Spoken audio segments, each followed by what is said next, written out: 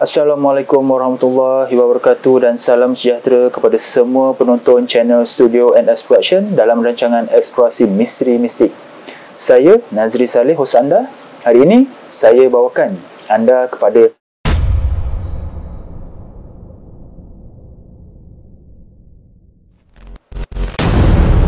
sumber maklumat yang kami perolehi dari kaedah ilmu kebatinan secara Islam iaitu Al-Haq. Jika anda tidak suka dari sumber tersebut, sila berhenti menonton video dari channel ini. Sebelum saya teruskan video ini, bantu saya dengan tidak skip iklan ketika menonton video di channel ini. Subscribe channel ini kepada yang belum subscribe dan share video ini semoga ramai yang akan dapat manfaat dan pastikan anda menonton video ini sampai habis supaya anda faham secara menyeluruh berkenaan sejarah yang ingin disampaikan. Peristiwa pembunuhan Megat Panji Alam yang tercatat dalam Hikayat Hang Tuah pada bab ke-11 menceritakan satu kejadian di mana Megat Panji Alam murka dengan tindakan Laksmana Hang Tuah yang telah melarikan tunangnya iaitu Tun Teja ke Melaka. Megat Panji Alam membawa bersama adiknya Megat Kembar Ali dan mengumpul bala tentera seramai 4,000 orang serta gajah perangnya yang bernama Syah Kertas untuk menyerang negeri Melaka walaupun ditegah ayahandanya Raja Terengganu. Ayahandanya Raja Terengganu telah memujuk Megat Panji Alam supaya melupakan hasrat untuk mendapatkan kembali Tun Teja dari Sultan Melaka dengan meminang anak raja yang lain. Namun, perbuatan melarikan tunangnya itu megat Panji Alam rasa dirinya terhina. Ini juga sebagai satu tamparan yang hebat pada dirinya jika dia tidak menuntut kembali tunangnya itu dan akan dianggap sebagai anak raja yang lemah. Mendengar kata-kata megat Panji Alam yang sudah bersungguh-sungguh dengan tindakannya itu, maka mahu tidak mahu ayahandanya, Raja Terengganu dan bondanya terpaksa mengizinkan. Lalu Raja Terengganu memerintahkan segala alat senjata perang dan pakaian yang mulia-mulia supaya dianugerahkan kepada anak-anaknya itu. Sebelum memulakan serangan, Megat Panji Alam singgah ke Indrapura iaitu Pahang terlebih dahulu bagi menyampaikan hasratnya kepada Raja Pahang untuk menyerang Melaka demi membawa kembali tunangnya Tun Teja ke Indrapura. Ketibaan Megat Panji Alam di Indrapura telah disambut dengan meriah dengan paluan gendang dan ramai rakyat Indrapura menyaksikan rombongan itu berarah menuju ke istana untuk menghadap Raja Indrapura.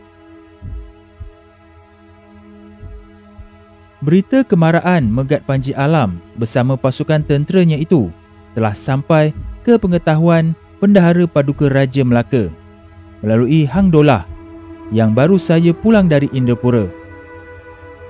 Lalu, Bendahara Paduka Raja Melaka pun segera mempersembahkan berita tersebut ke hadapan Raja Melaka. Bendahara Paduka Raja tidak ingin Megat Panji Alam sempat menjejakkan kaki ke Melaka lalu mencadangkan utusan menyusul ke Indrapura. Raja Melaka berkenan memerintahkan Laksmana Hang Tuah, Hang Jebat dan Hang Kasturi menyusul ke Indrapura. Setiba Laksmana Hang Tuah, Hang Jebat dan Hang Kasturi di Indrapura, Laksmana Hang Tuah memohon kepada Raja Indrapura untuk mengaturkan perjumpaan dengan Megat Panji Alam. Dua hari kemudian, kedua-dua pihak berjumpa di balai penghadapan Raja Indrapura. Hang Jebat dan Hang Kasturi hilang kesabaran dan terus menyerang Megat Panji Alam dan Megat Kembar Ali sehingga tewas. Raja Indrapura murka atas kelancangan Hang Jebat dan Hang Kasturi berperang di istana baginda lalu menitahkan mereka ditangkap dan dibunuh. Namun, Laksmana Hang Tuah tidak membiarkan sahabat-sahabatnya dihukum lalu mencabar titah Raja Indrapura. Raja Indrapura gentar melihat kemarahan Laksamana Hang Tuah. Lalu baginda terpaksa mengalah. Laksamana Hang Tuah, Hang Jebat dan Hang Kasturi selamat kembali ke Melaka membawa syah kertas iaitu Gajah Megat Panji Alam yang terkenal garang. Setiba di Melaka, Laksamana Hang Tuah dianugerahkan oleh Raja Melaka untuk menjaga syah kertas. Manakala Hang Jebat dianugerahi keris pendua milik Megat Panji Alam dan Hang Kasturi pula dianugerahi keris pandak juga dimiliki Megat Panji Alam. Persoalannya sekarang, dalam naskah sejarah Melayu iaitu Sulalatus Salatin menceritakan Sultan Mahmud Shah Melaka telah menghantar utusan peminangan ke Pahang namun ditolak oleh Bendahara Seri Amar Diraja kerana Tun Teja telah pun ditunangkan dengan Sultan Pahang. Namun berbeza pula penceritaan dalam hikayat Hang Tuah di mana Tun Teja telah ditunangkan dengan Megat Panji Alam, ananda Sultan Terengganu. Adakah watak Megat Panji Alam ini benar-benar wujud atau sekadar legenda yang dicerita masyarakat dahulu dari mulut ke mulut?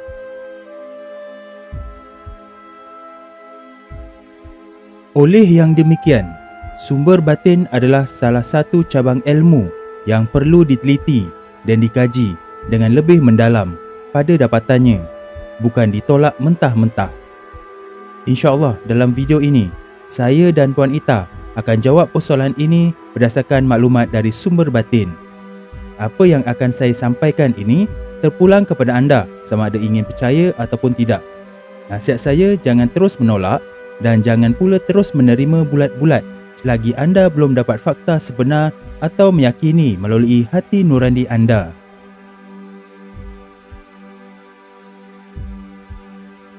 Bismillahirrahmanirrahim.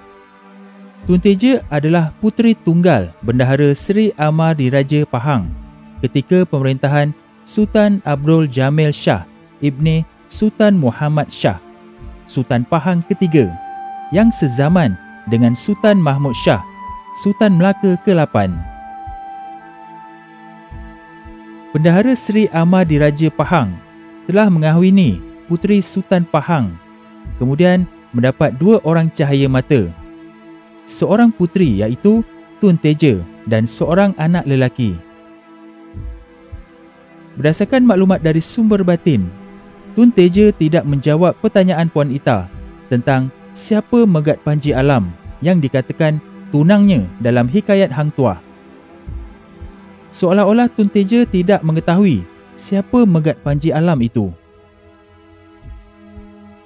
Tun Teja menjawab tunangnya pada masa itu adalah sepupunya sebelah bonda iaitu Tengku Mahkota Pahang, ananda Sultan Pahang dan bukan dengan Sultan Pahang atau Megat Panji Alam.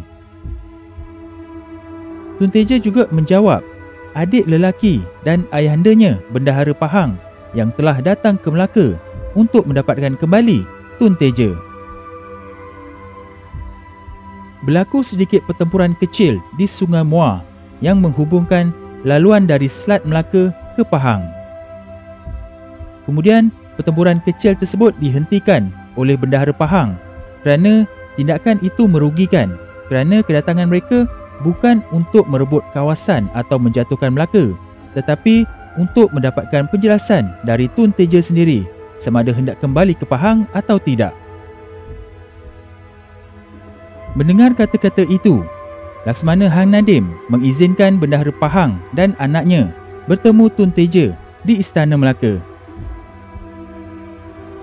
Apabila mereka bertemu Tun Teja, Tun Teja menjelaskan dia tidak mahu kembali ke Pahang kerana bimbang pandangan orang Pahang terhadapnya yang telah mencemarkan nama baik keluarga dan negeri Pahang. Adalah lebih baik dia berada di Melaka sahaja. Setelah berpuas hati mendengar penjelasan itu dari Tun Teja, Bendara Pahang dan adiknya kembali ke Pahang bersama-sama pengiring dan kapal perangnya yang menunggu di Sungai Muar. Watak Megat Panji Alam semakin samar kewujudannya kerana masih belum diketahui di mana makamnya. Malah, nama Megat juga menjadi persoalan kerana nama Megat lebih popular digunakan di kawasan Perak dan Johor berbanding di Terengganu seperti sejarah Megat Terawis di Perak dan Megat Sri Rama iaitu Laksmana Bentan di Kota Tinggi Johor. Masing-masing ada makamnya. Sebelum ini saya dan Puan Ita pernah menziarah makam Tun Teja di Melimau Melaka. Boleh tonton video tersebut untuk mendapatkan maklumat lanjut berkenaan makam Tun Teja. Jadi kesimpulan yang dapat kami berikan adalah watak Megat Panji Alam dalam hikayat Hang Tuah kami anggap adalah watak yang direka untuk membentuk satu cerita legenda yang syarat dengan aksi dramatik mengaitkan sesuatu watak yang benar wujud dengan watak yang tidak wujud.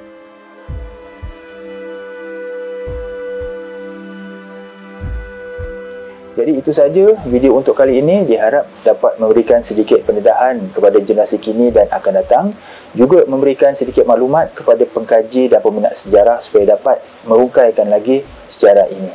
Jangan lupa sertai ahli member channel Eksplorasi Misteri Mistik ini dengan klik pada butang join di bawah video ini atau klik link pada ruangan description.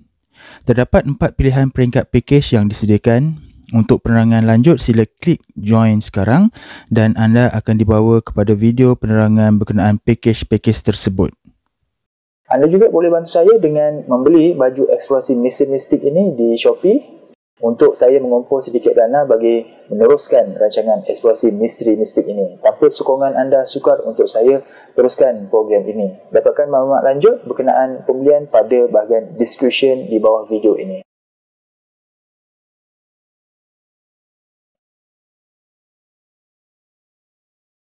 Jadi sampai di sini saja video untuk kali ini dan jumpa kita di episod akan datang yang lebih menarik insya-Allah. Assalamualaikum.